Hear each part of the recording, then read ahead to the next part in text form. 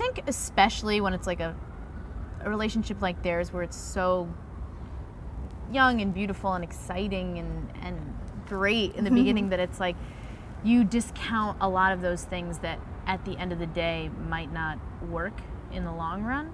Um, but I think that there's like a genuine love that they have for each other, and that's what you know Makes it so all the more painful. yeah, exactly, yeah. because it's something that neither of them want to let go of at all. And I think you, through the season, you really see them struggle trying to keep that together, Yeah. knowing that they might not be the same Yeah, people at the end of the day, yeah, and- there's there's definite uh, a shift I think because in the beginning of the season we're sort of okay, and then it really does start to strain as the as time goes on. So Yeah. it's kind of a cool arc that way. And I mean, you can't deny other people. Uh, not gonna say anything. On both of ours, for both of us, yeah, it's Yeah. tough, man.